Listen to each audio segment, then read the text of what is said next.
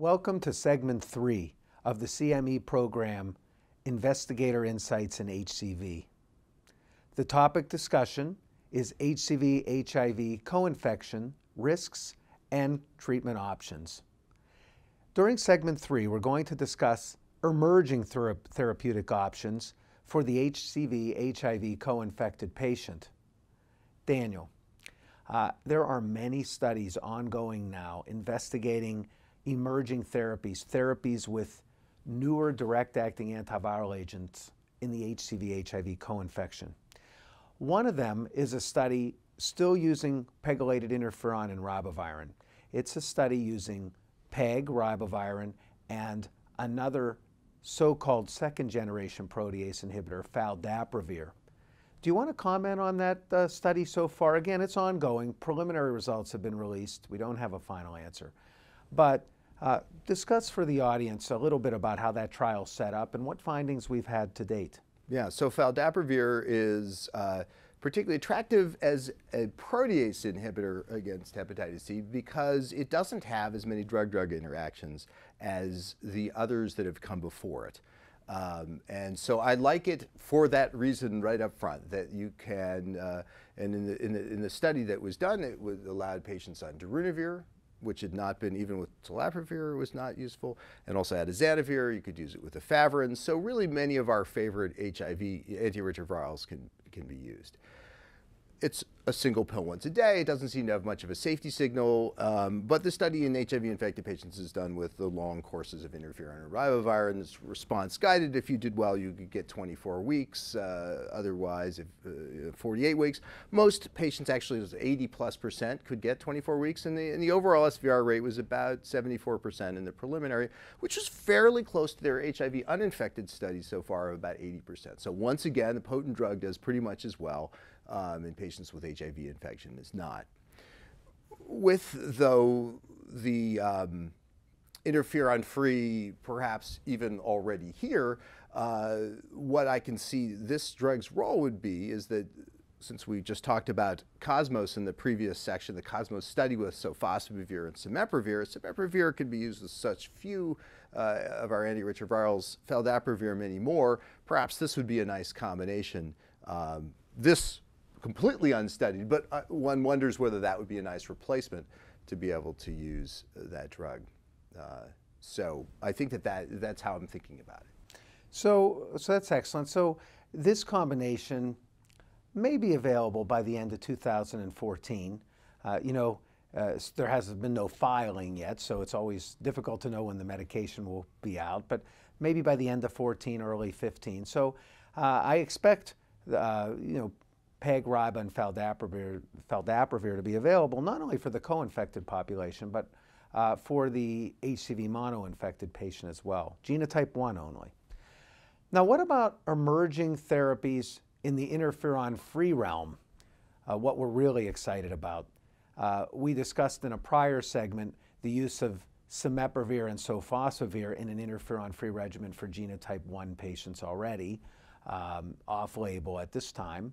Uh, we discussed the fact that in genotypes 2 and 3 that we already have interferon-free regimens that are effective, but more regimens are being, uh, are being performed right now, even as we speak. Uh, there are regimens uh, from uh, Gilead that are investigating sofosbuvir and an NS5A inhibitor, ledipasvir.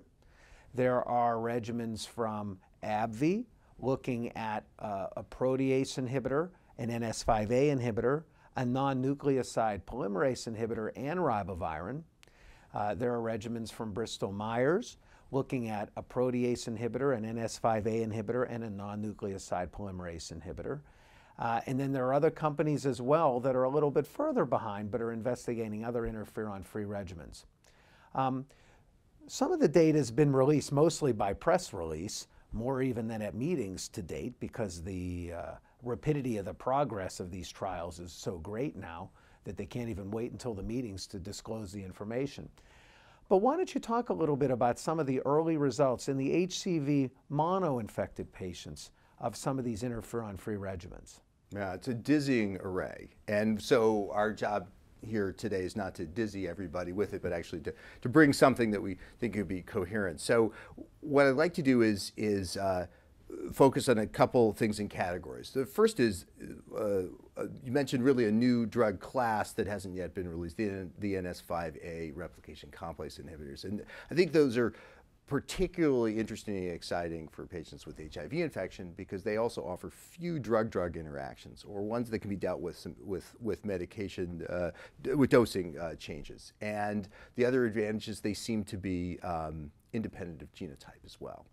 And so the two uh, that you mentioned, ledipasvir, which is the Gilead uh, drug, and daclatasvir, uh, which is the Bristol Myers Squibb drug that was out a little bit sooner, both paired with sofosbuvir.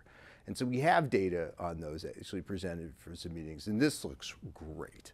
With or without ribavirin, again, ribavirin seems to almost already be going away sooner, I think, than many of us expected. We figured that will be the one that's going to hang on for a few years.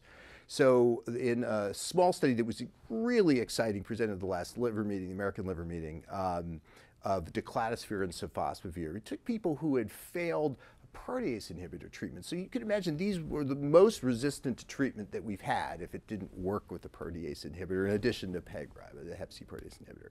And basically cured, as I remember, 41 patients. And none of them were, had cirrhosis, but nonetheless, you know, people who had failed badly, this was an amazing result. So there were no virological failures in that. Super. Um, this uh, drug, daclatasvir, seems to also have really great activity against GNO2 and GNO3, uh, especially GNO3, which we're a little bit worried about. Um, you know, it's a, perhaps a slight weakness in sofosbuvir, and so this will be great. Uh, uh, drug that Gilead is actually co-formulating, and now we have studies coming out it, that will be enrolling anytime soon now for HIV-infected patients of a co-formulation of sofosbuvir and ledipasvir with or without ribavirin in HIV-infected patients. So this is going to be great, even one fewer pill. Um, once a day. And so there are pretty good data in HIV uninfected patients, really a fair number of patients, looking at 12 week regimens, 24 week regimens, and even an eight week regimen. So you had people who were naive to treatment with genotype 1. They got eight weeks of this, uh, with or without Rivar, 94% SVR rate. So this is really astonishing. 12 weeks may be a little better. 24 weeks uh, is probably not better. Um, although I'd be careful with that because again, these are pretty usually healthy clinical trials patients. So really what we're interested in, the tough ones are going to be the cirrhotic. So prior treatment experience doesn't seem to matter that much, but prior no response to interferon, ribavirin, and cirrhotics, those are our toughest ones.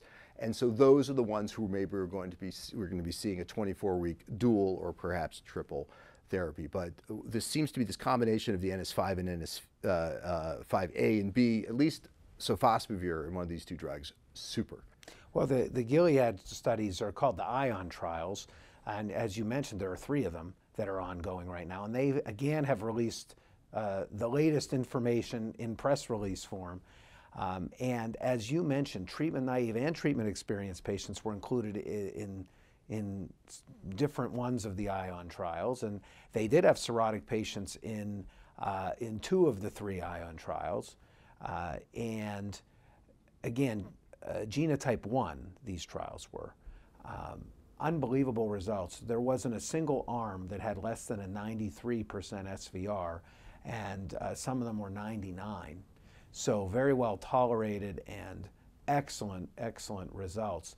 Uh, when, when is this particular combination expected? Do you have any insight into that? Well, Gilead says they're going to file in the first quarter, which is when we're speaking. Uh, so you know, this time in 2015, uh, early 2015, so soon. Yes, exactly. And as you mentioned, uh, one of the exciting things is for the HCV HIV co-infected patient population that they are actually starting studies now. They're not waiting until the approval of the product and then starting uh, tedious, laborious studies. They're actually starting the studies now. So the expectation is uh, we will have information on the regimen safety and efficacy in this population uh, very, very soon.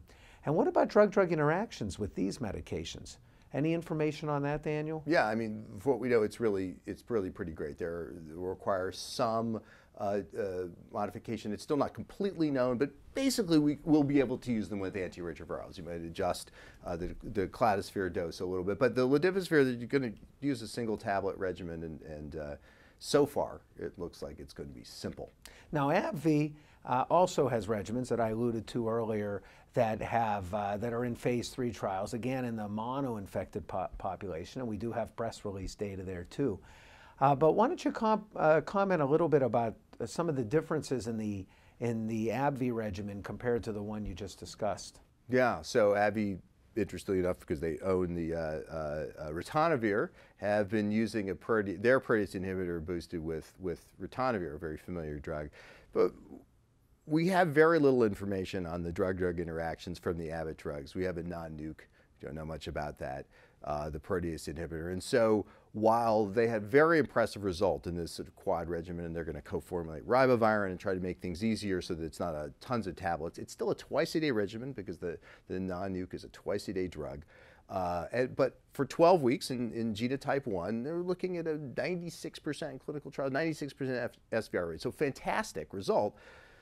But my guess is this is not going to be very useful in our HIV infected patients uh, with the drug drug interactions that they really, and they haven't to my knowledge, uh, started any study with those. So I think once, if it hasn't started, I think it's very soon forthcoming. Yeah. So they're, you know, they're an HIV company, as you mentioned, or yeah. they have in the past been, and I think they they're very interested in this population, which is good. They're experienced with it. And as you mentioned, their mono-infected results are also outstanding. They, their regimen is 12 weeks and 12 weeks only. It does have ribavirin in it, uh, and uh, but but the SVR rates in treatment naive and treatment experienced, genotype 1 only, by the way. They're only developing this drug in phase 3 trials, to my knowledge, in genotype 1 patients, uh, have been, were 96% both in both groups, treatment naive or treatment yeah. experienced. So, um, efficacy wise, outstanding, and tolerability wise, outstanding in the mono infected population. Again, they uh, they're going after the HCV HIV co-infected population, but this drug-drug interaction issue is one that uh, you know still has to be uh, worked out. And you're right, this is a twice-a-day regimen as opposed to the previous regimen that we discussed, which is a once-a-day regimen. Um, and then Bristol Myers, we mentioned too, has uh, phase three trials uh, ongoing with their all-oral regimen as I mentioned before, it has a protease inhibitor, an NS5A inhibitor, uh, which we didn't really, you know, point out, but that's another new class of direct-acting antiviral agents. And then their non-nucleoside polymerase inhibitor, and they have data that also is pretty impressive with uh, SVR rates in their earlier trials in the 92% range, genotype 1. So this may be another option. I'm unaware that uh, this company is looking yet in the co-infected population, unless you have different information. No, I'm not aware of, of, of, this enrolling yet for us. Yeah. yeah. So, uh, so in summary, it seems that there is great interest out there uh, in the pharmaceutical companies in trying to address the up-to-date unmet medical need of treating the large HCV HIV co-infected patient population and this interest is manifest by many phase three trials, which are uh, starting or, or are already underway. Um, and my understanding of your comments is are, are, that as a guy that takes care of a lot of these patients, you're very excited about the data that you've mm-hmm. seen, and um, and you can comment on it too. Uh, my again interpretation would be that uh, the thought is that this is going to be revolutionary, that this is going to be a game changer for patients with HCV HIV co-infection. Do you have any other final comments about some of the emerging therapies? I think you've summed that up brilliantly. I just have to echo in that voice. This is an astonishing, better than expected. Really, rarely does that happen. Where, where we're faced with something that's just better than we thought it would be and sooner. Uh, to be able to cure most of our patients.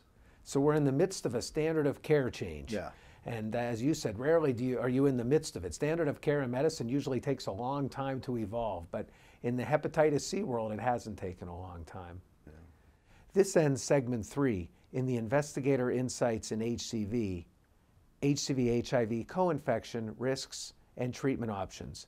I'd like to thank you, Daniel, for being an outstanding discussant and availing us of your extensive experience in the treatment of HCV HIV co infection. Thank you. You're welcome. Pleasure to be here. This ends segment three, and I would like to thank you for attending.